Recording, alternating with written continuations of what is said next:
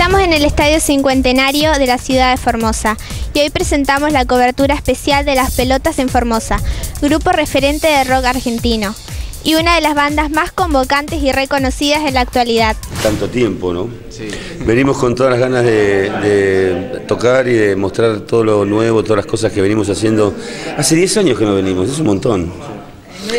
Así que, y en el medio hay un montón de discos, todo nada. Ojalá que, me encanta el lugar este donde vamos a tocar y ojalá que volvamos más seguido porque vale la pena.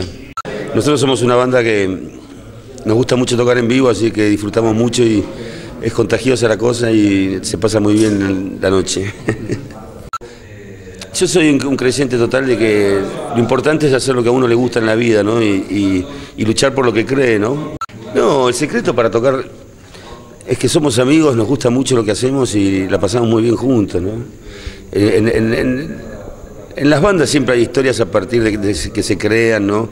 El ir, avanzando, ir, creciendo, que siempre hay, procesos que se viven, ¿no? Internos, pero nosotros hemos pasado todo y siempre nos quisimos y siempre nos querremos. Y nada, nos divertimos mucho tocando.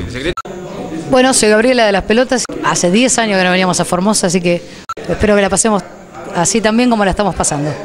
Para Data TV, espero que vengan a ver el show de esta noche.